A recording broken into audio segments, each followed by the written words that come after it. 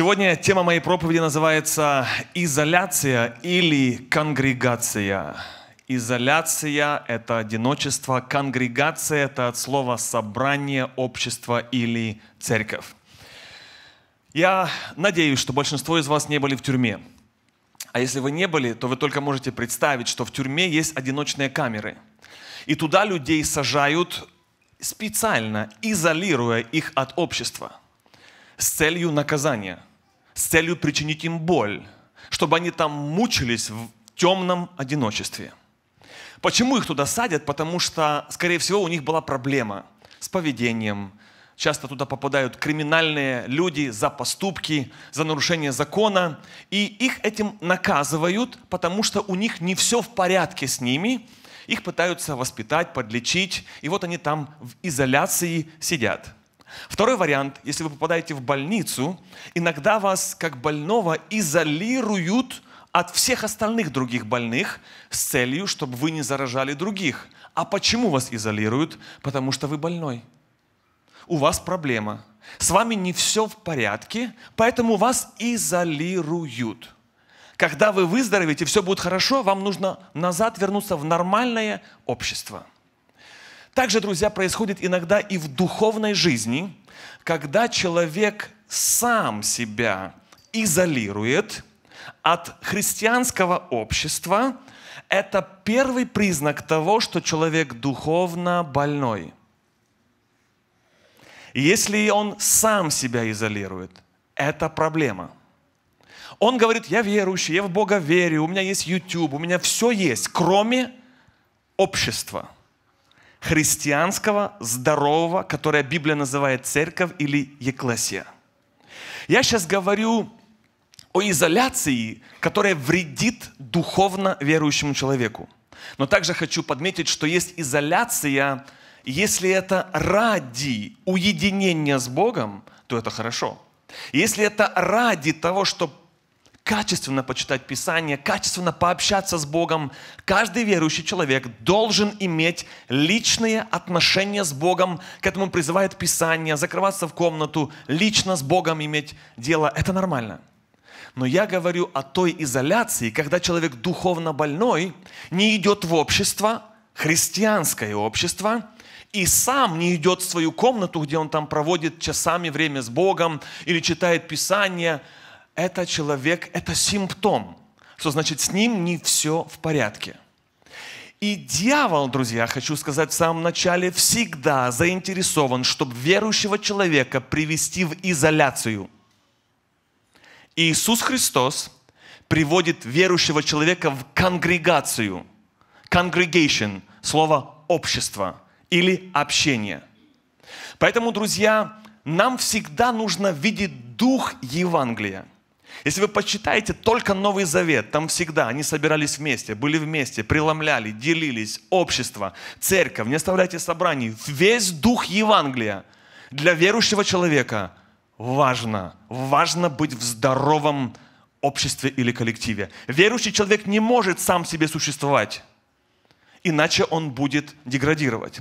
Поговорим об этом чуть больше.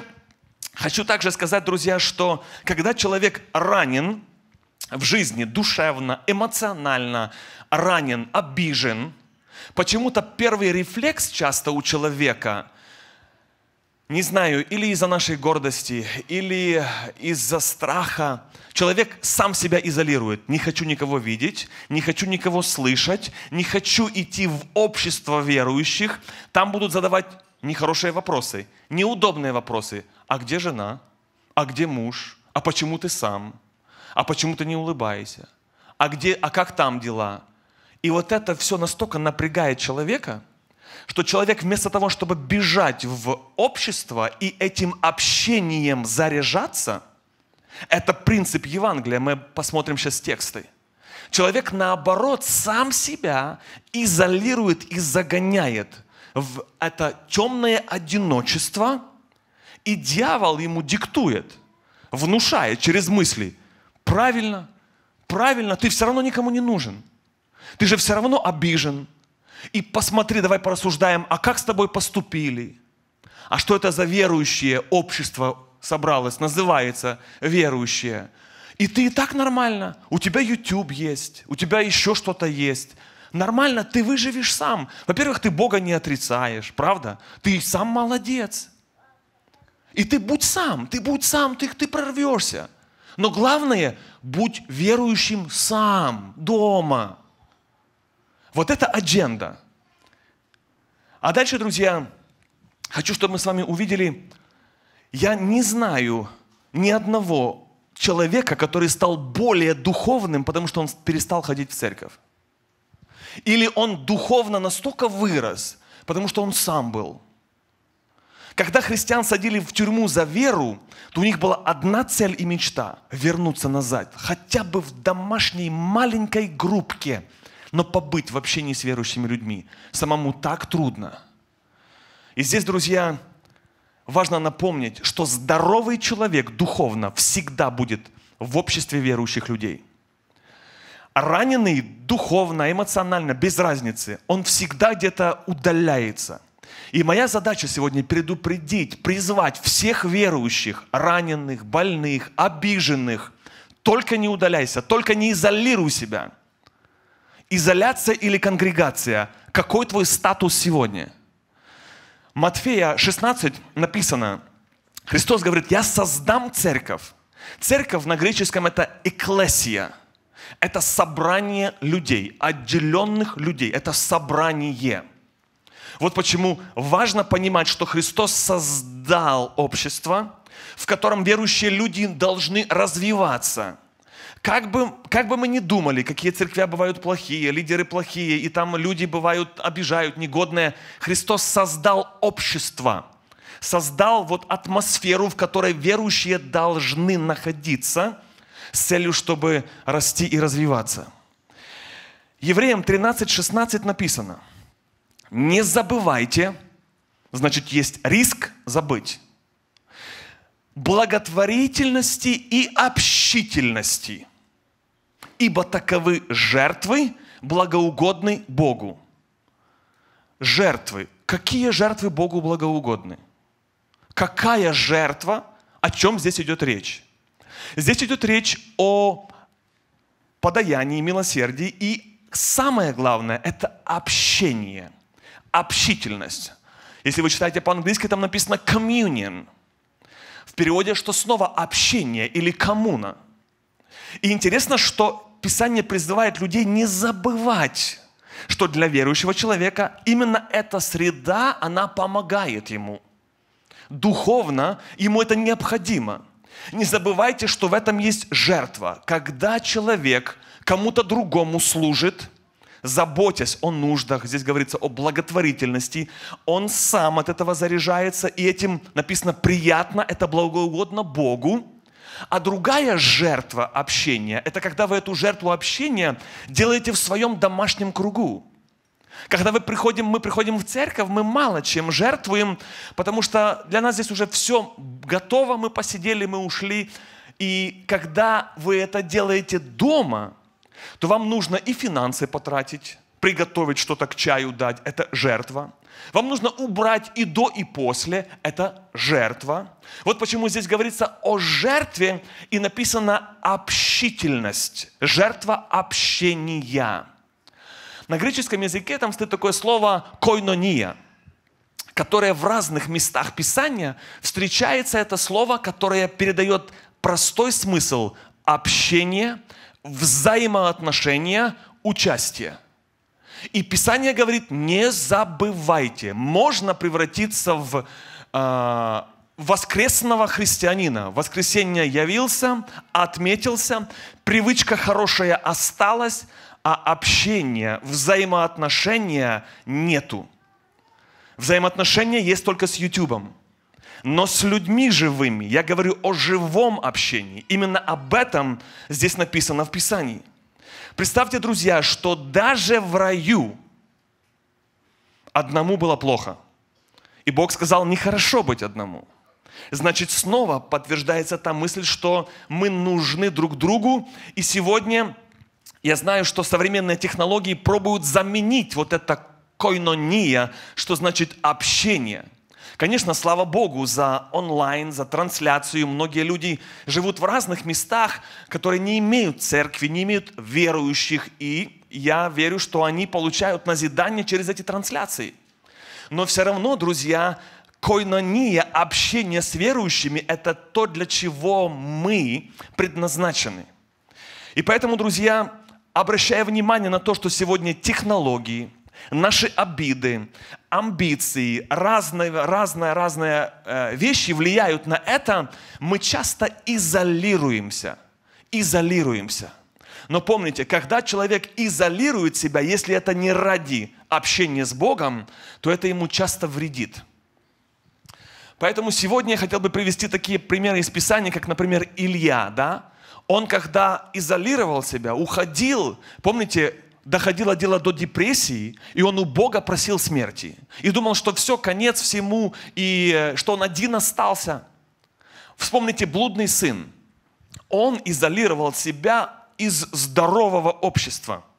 Был в доме отца. Там была атмосфера правильная. Он сказал, нет, я сам выживу, я и сам знаю, как жить и как э, духовно развиваться – но вы знаете, вначале началось все хорошо. Были деньги, были друзья, а потом осталось ничего. Разбитая корыта, свиньи, вонь. И вот человек оказался в изоляции, потому что покинул здоровое общество. Как важно для верующих, независимо от возраста и стажа, быть всегда в общении с верующими людьми. Позвольте спросить, пожалуйста, как вы думаете, что в церкви самое главное? Проповедь, молитва, пение, детское служение. Что самое главное? Приведу вам Деяние 2 глава, 42 стих. Там написано. Они постоянно пребывали в учении, в общении, преломлении хлеба и в молитвах. И пятое, хваля Бога. Итак, друзья, посмотрите на устройство первоапостольской церкви. Вот вам сейчас есть возможность окунуться в их церковную программу. Заметьте, никакого детского служения, никаких подростковых отделов, никакого молодежного – Хотя это не значит, что это плохо, не значит, что это грех. Но из этого текста мы можем сделать выводы, что люди были вместе разных поколений.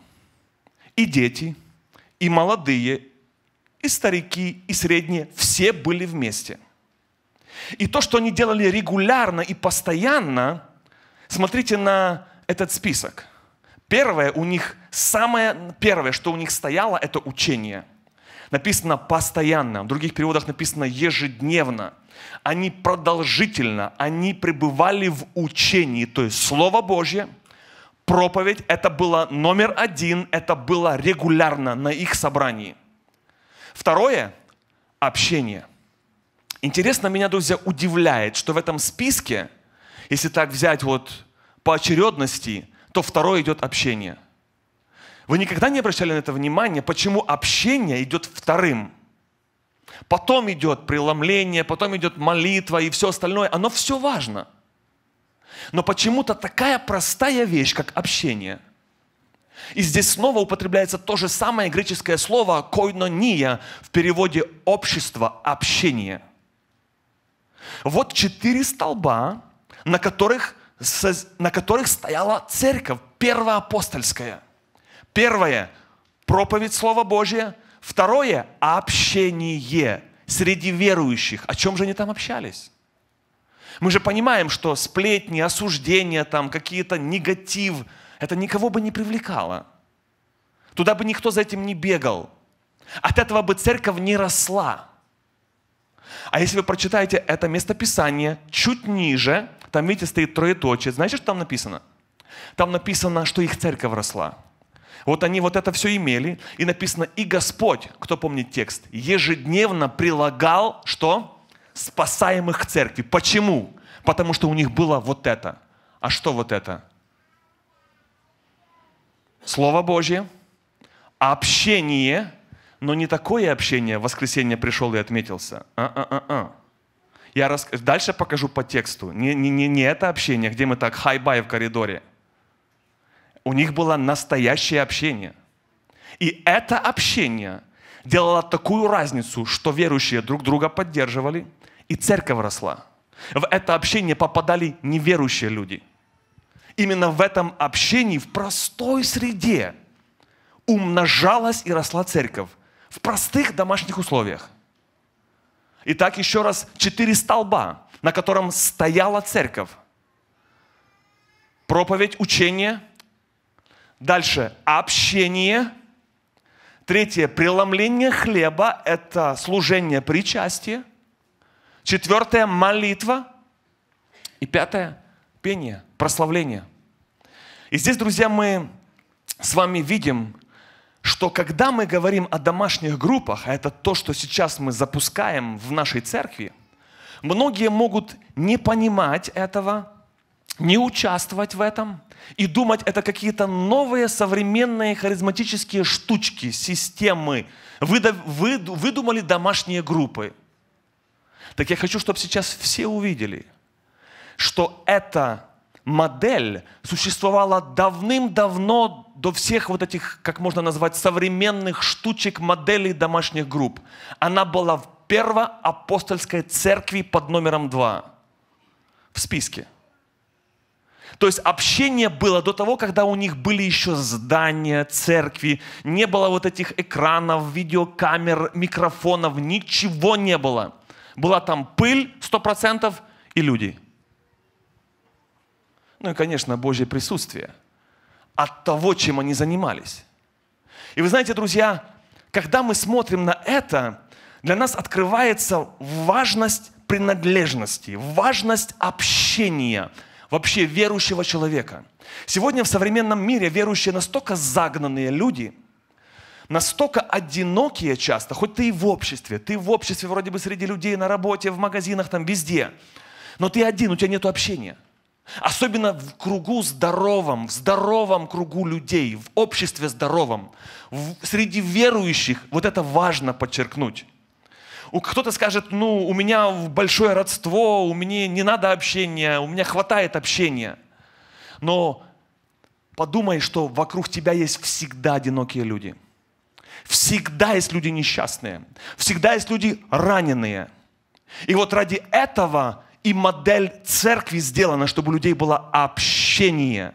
Общение по домам, общение в домашних группах, общение в твоем доме и общение в церкви. Вот почему, друзья, я призываю вас, чтобы вы стали частью, особенно Церковь Живой Поток, частью домашней группы, потому что это то, что было в церкви в самом начале, до того, как стало большим общество и большим зданием. Посмотрите еще на одно место Писания, которое сильно говорит на эту тему. Деяние 5.42. «И всякий день в храме и по домам не переставали учить и благовествовать об Иисусе Христе». Интересно, друзья, что здесь написано, где верующие проводили время. В храме и по домам. А что важнее? Челлендж, тест, тест, тест, тест, тест, тест. Проголосовали.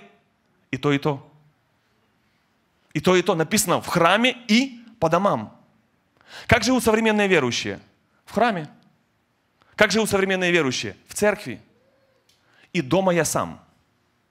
Я сам, мой, моем, мое, не трогайте, я отдыхаю, у меня прависи, у меня мои дела, у меня бизнес, я загнанный, я белка, я в колесе, не хочется это признавать, но это правда.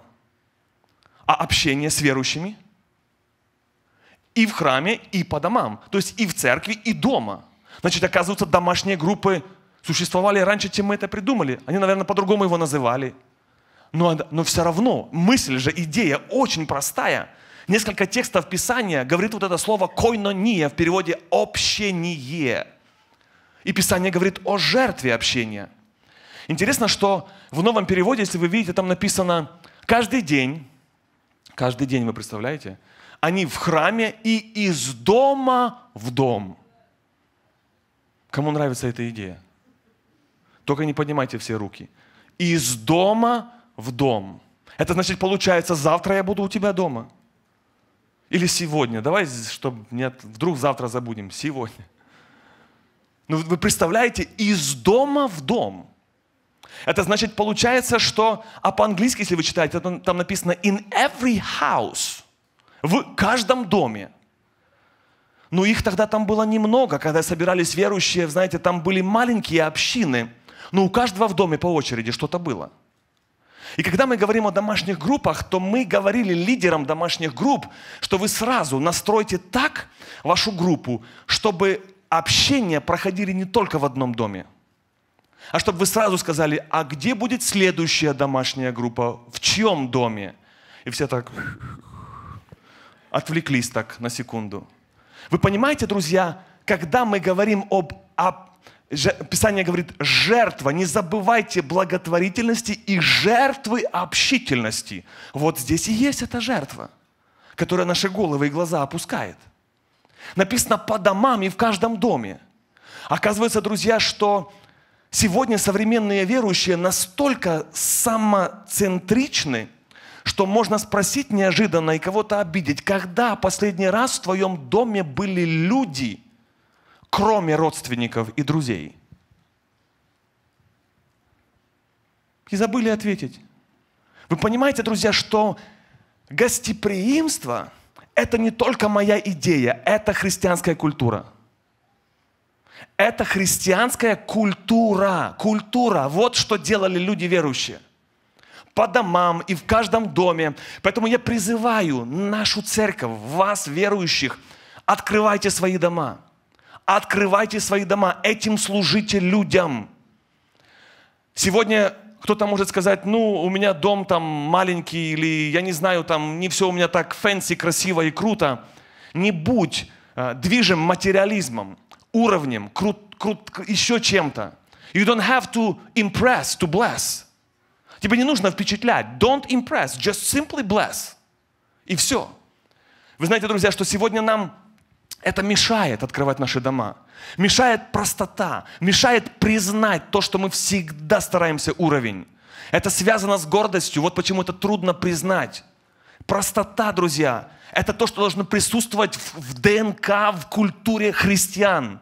Но в западных странах это очень тяжело дается, очень тяжело. Поедьте в любую страну третьего мира, где бедные люди живут, там вообще no problem, там просто другой уровень жизни – без проблем. Там этих понтов нет. И поэтому сегодня для нас написано, не забывайте благотворительности, общительности, ибо это жертва. Жертва, угодная Богу. Нам важно быть в обществе здоровом и в общении, потому что иначе ты сам потеряешься и детей своих потеряешь. Я помню, как мой папа говорил некоторым людям, что будь частью общества верующего, не оставляй церковь, иначе потеряешь детей – Сегодня уже папы с нами нету. Но две эти семьи подошли ко мне лично и говорят, что они помнят слова папы, который говорил им, потеряешь детей. Даже, даже если ты в церковь ходишь, это не гарантия, что они будут с тобой там до конца жизни. А если не ходишь, то гарантия. Потеряешь детей, потом будешь тикеты, суды, лайера, вот это все будет. Одни рассказывают, дочка забеременела в, не знаю, в раннем возрасте, другие сыновья в тюрьме сидят. И вот этот весь месс, месс, проблема. Потому что общество на тебя влияет. И очень важно, какие друзья у твоих детей.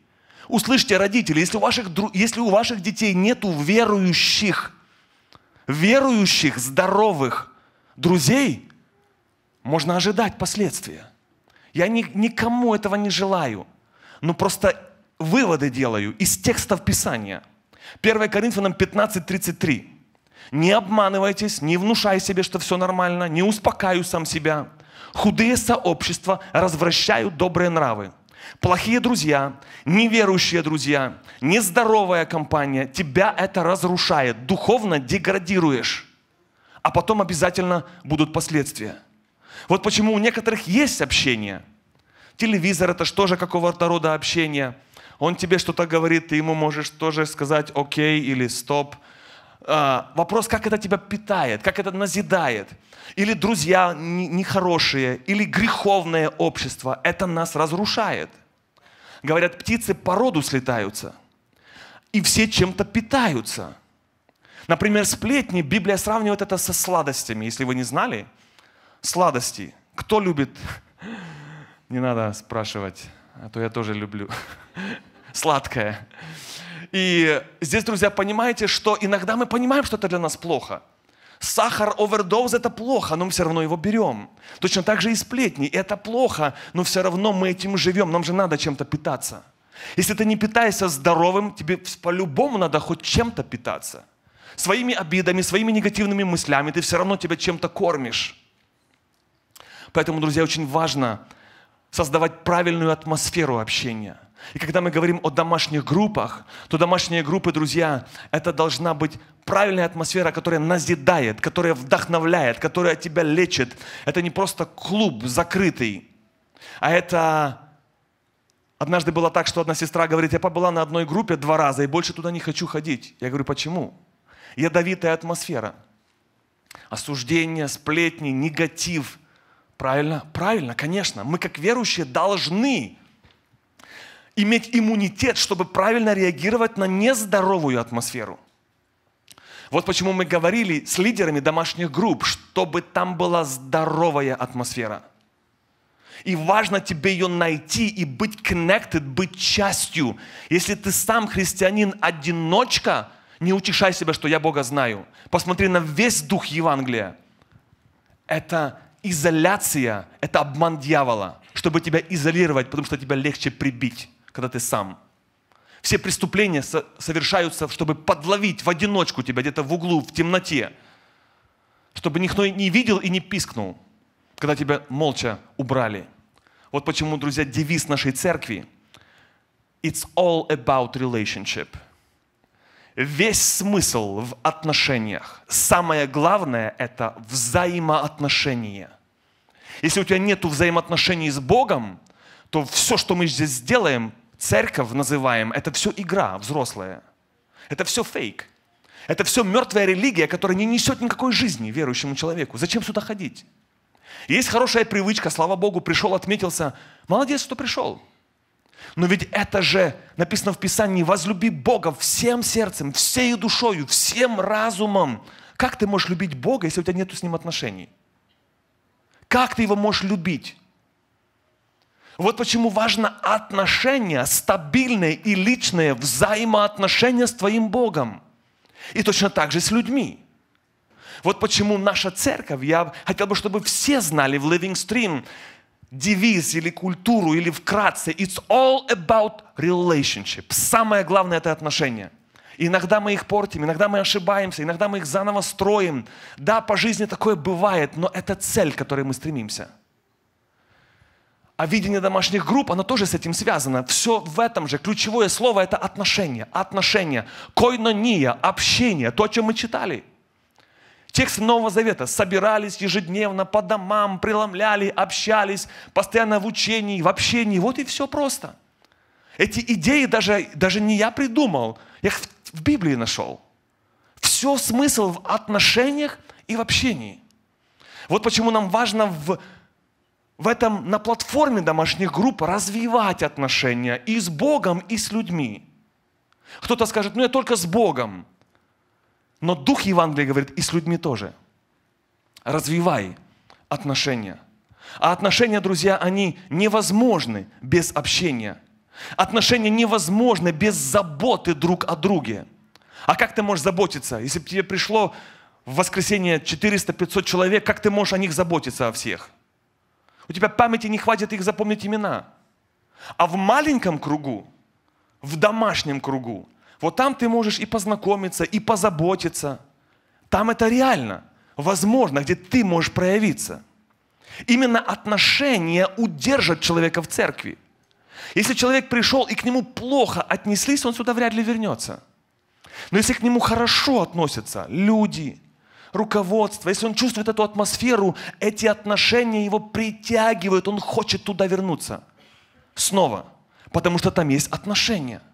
А отношения развиваются в небольших кругах и в близких беседах. Вот почему снова мы возвращаемся к той же библейской модели. Они ежедневно, они постоянно в домах собирались, преломляли, общались, изучали. Поэтому домашняя группа, друзья, это не закрытый клуб. Домашняя группа – это не зона комфорта. Многие люди, когда выбирают домашнюю группу, у них цель – вот мои друзья там есть, и мне с ними будет хорошо, хорошо, слава Богу. Но петь не буду, но вы знаете. Почему? Зона комфорта. Чтобы меня не трогали, чтобы меня не напрягали. Вот мне с ним, а если придут чужие люди, ну, ну, конечно, они почувствуют, что они там не входят в наш клуб, в наш круг. Потому что у нас есть клик, клик, так, клик, и вот туда уже никто не проникнется. Потому что, друзья, церковь – это общество, которое должно быть открыто для всех. Должно быть открыто для всех людей. Это и есть церковь. Поэтому, друзья, зона ком... ваши друзья и родственники, все имеют право на друзей. Там с ними собирайся, расслабляйся, но это не жертва общения, не путай. Это зона комфорта. Жертва общения – это другое, другой уровень. Там, где ты себя не совсем комфортно чувствуешь и не хочешь напрягаться, тебе легче остаться в зоне комфорта. А призывает, нет, жертва общительности и благотворительности – Поэтому, друзья, кто-то может думать, ну, мне не нужна домашняя группа ваша, я не очень общительный, I'm not a social butterfly, у меня хватает общения. Верю. А что, если ты перестанешь так думать и начнешь думать, вопрос не в том, что мне хватает, я думаю, у меня все нормально.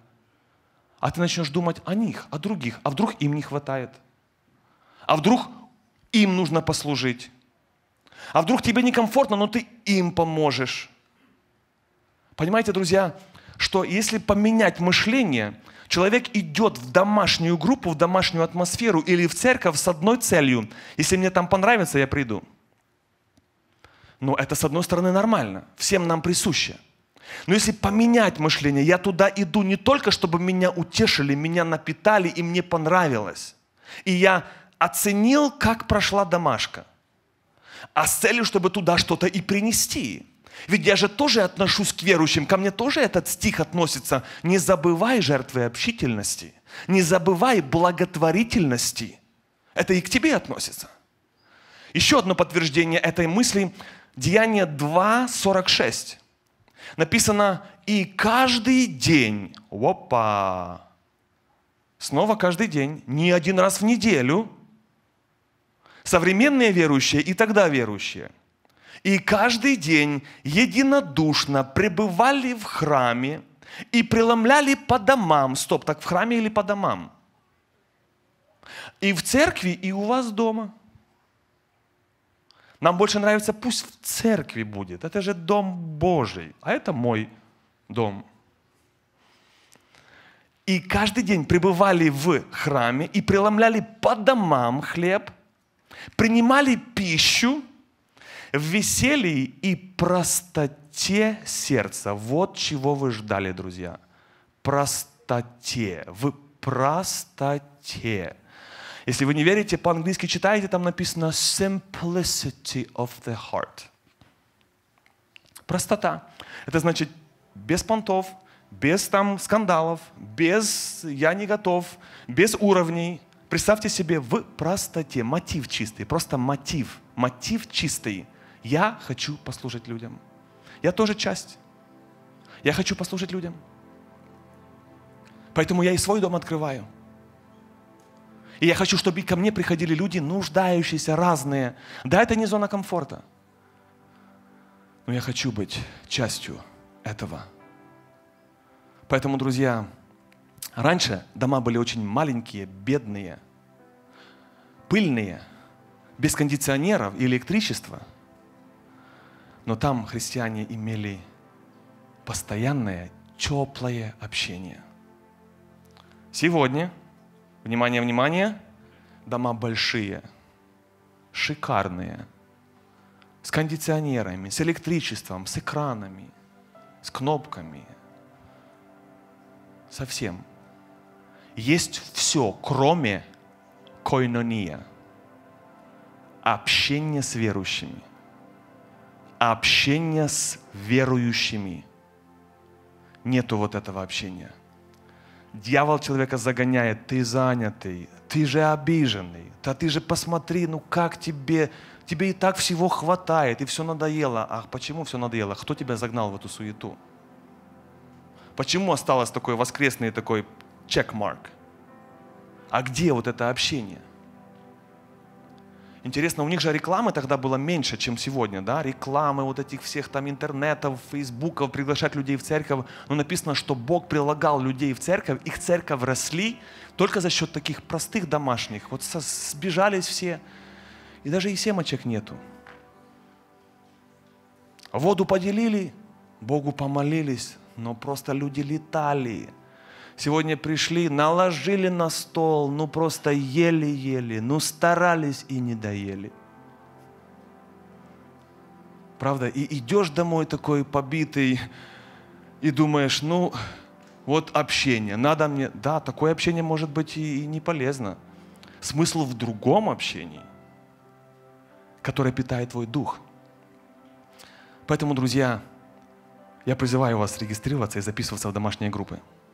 Сейчас на экране вы это увидите. А если вдруг у вас не получится это сделать самостоятельно, то на выходе вас будут ждать наши люди, администраторы, которые вам помогут записаться. Если вы не пользуетесь, не дружите с технологией, у нас есть домашние группы только для мужчин, только для женщин, для всей семьи, на русском языке, на английском языке, на украинском, лишь бы вы туда записались, лишь бы вы были частью общества, общения. Потому что мы, как находясь в теле Христовом, друзья, мы призваны, призваны быть не просто органом в банке, я говорю о физическом органе тела, а мы призваны быть органом в теле. Разница. Я верующий, я орган в банке. Или я в теле. Я живой, я функционирую.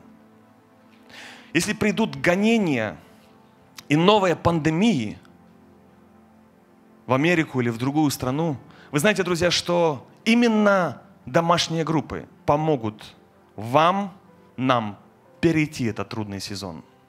Наши прадеды, которые пережили гонения в Советском Союзе, они это прошли благодаря чему? Церковь была нелегальна. Верующим нельзя было собираться. Собирались ночами в лесах, домашнее, закрытое, маленькое общение. Гонимая церковь в Китае, в подполье процветала, умножалась, никто не мог найти объяснения. Закрыто, запрещено, тюрьма, риск. Они по домам собираются. И церковь растет. Движение мощное. Что там было? Какие микрофоны, какие экраны? Да там было просто общение и Слово Божье. И молитва там была. Но там было общение, общение, общение среди верующих людей. В опасных условиях. Но это общение, это то, что людей держало. Вот почему, друзья, нам важно это общение.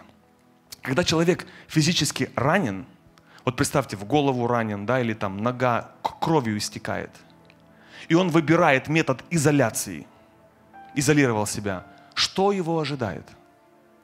Есть риск что он медленно, но уверенно, истекая кровью, сам и умрет.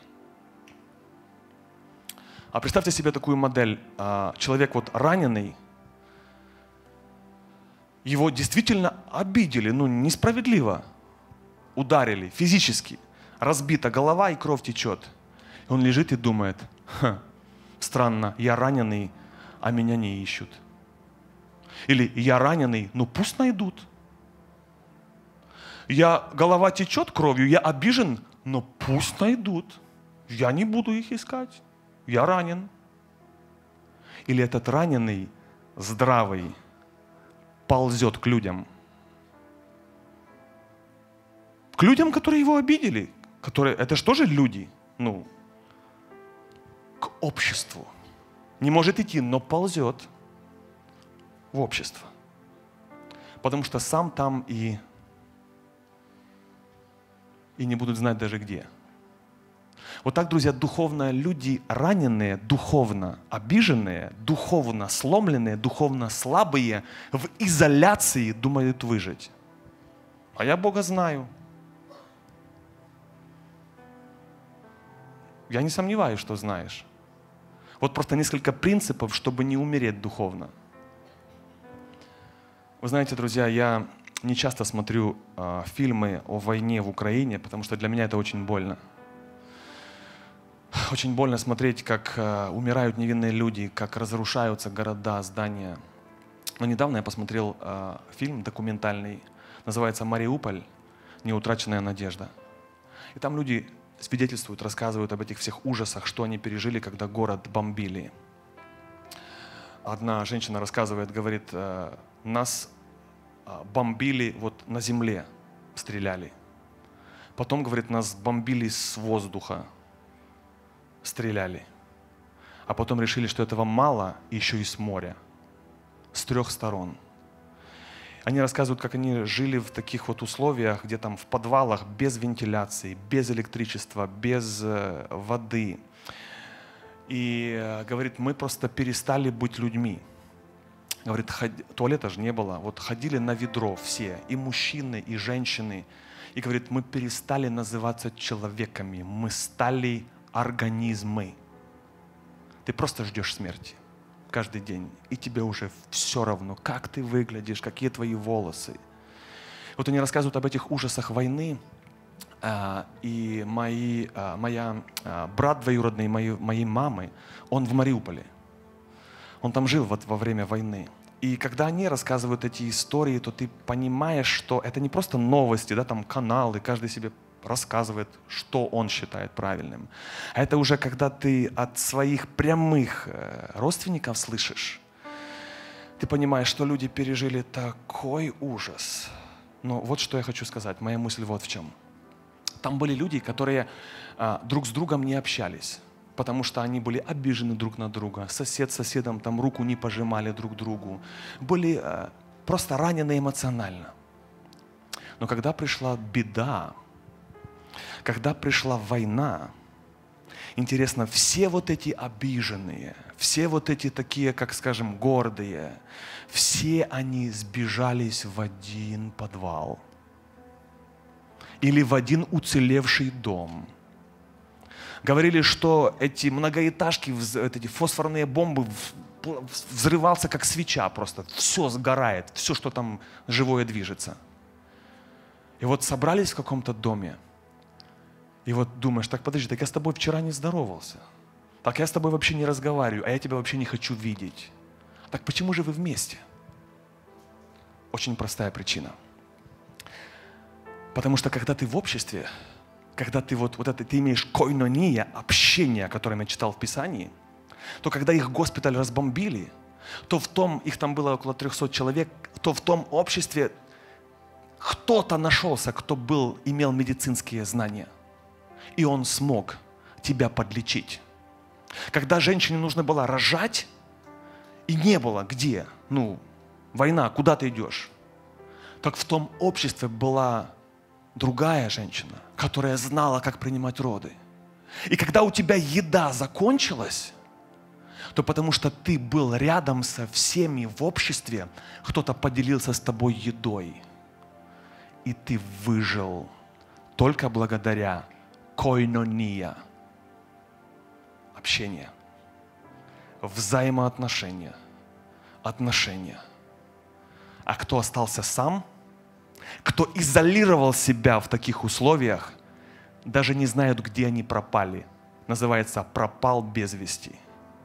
Изоляция или конгрегация. Let's move from isolation into congregation. Потому что, друзья, знайте, что мы всегда с кем-то общаемся. Вопрос, что это общение нам дает. Если спросить, с кем ты сегодня общаешься, сегодня каждый современный человек общается с экраном. Очень много общается с экраном. Общается с телефоном. Первым кому вы говорите «доброе утро», это не жена. Это вот. Последним, кому вы говорите «спокойной ночи», м-м, это не муж, это вот. Когда вы находитесь в паузе, с кем вы общаетесь, это экран, это телефон. Мы с ним общаемся регулярно, постоянно. И если ты это общение имеешь, поверь, тебе никто не нужен. Вот закрой человека сам. Все, что нужно сделать, дай ему телефон. И ему никто не нужен. Проверяли, видели? Правду я рассказываю? Никто не нужен. Абсолютно. У него есть общение. Общение с экраном. Есть YouTube, есть еще там много всяких штучек. Я не говорю, друзья, что это грех. Я тоже пользуюсь телефоном, и у меня тоже есть социальные сети. Но мой папа говорил, главное, чтобы главное оставалось главным. Если тебя общение с экраном лишает главного общения, нету у тебя общения с Богом, нету личных отношений с Богом, нету времени для чтения Библии, но на общение с девайс, с гаджет, с телефоном всегда есть, то перестань себя обманывать. Ты в изоляции. Ты в изоляции. Ты в изоляции. У тебя нет общения живого, живо, настоящего, которое созидает, назидает, которое духовно тебя питает. А все, что ты смотришь, и все, что ты слышишь, тебя питает – Повторю, любая информация, которая входит в тебя через глаза или через уши, это тебя питает. И когда ты наелся, напитался, тебе уже другое общение не, нужно, не, не надо, ты уже сыт. Вот почему, друзья, иногда общение с экраном, если это в дозированном, это нормально. Но многих это общение лишает здорового общения кайнания, в этой, у них нету этого в жизни, они к этому не стремятся и не заботятся и не переживают. Я сам, я нормально, я духовный, я Бога знаю. Поэтому, друзья, я хочу, чтобы мы честно себе сказали, я в изоляции или я в конгрегации? На следующем Христианин, который изолирован с экраном, это опасное состояние. Христианин, который изолирован ради общения с Богом, он на правильном пути. Когда на этом фото последняя мысль, вы увидите, когда хищник атакует животное в животном мире, его главная задача – отбить это животное от стада. Если вам видно на этой фотографии сзади, видите, там одна зебра бежит, а вот там стадо стоит чуть дальше. Так хищник всегда сделает так, чтобы тебя отбить, чтобы ты отстал, отделился. И потом можешь кричать, я тоже зебра, я тоже нормальный. Но ты уже обречен. Я тоже христианин. А вдруг это, не знаю, зебра обиделась на всех. Эти зебры полосатые достали. Просто обиделся и думаешь, кто я сам, а я духовный, я нормальный, как бы, я Бога знаю. Ну вот сам, сам пошел траву щипать. В христианском контексте это звучит так. Овцы, да, которые вместе, в обществе, в церкви, имеют кайнания на следующем слайде. Это вот преобраз христианства – на картинке, может быть, не видно, там сзади, далеко-далеко, видите, там такие белые точечки. Это не снег, это овцы, которые там вместе. Но одна овца решила уйти в изоляцию. Кто виноват, неважно. Правда? Все равно, волку все равно, кто виноват. Но вот таких людей и поджидают волки – ведь она смотрит так далеко на стадо. Когда-то я был там частью. А сейчас аж не хочется волку в глаза смотреть. Я согласен. Печальная картина. Можно менять слайд. Вот так, друзья, происходит и в жизни верующих людей. Поэтому будь частью домашней группы. Будь частью кайнония и общения. Будь частью церкви. Никогда ты в одиночестве не думай, что ты будешь более духовный. Хоть все виноваты вокруг тебя, но Бог создал церковь и общение. И они ежедневно пребывали в учении и, все хором скажем, в общении. Вот это общение здоровое тебе необходимо. Я благословляю вас. Аминь.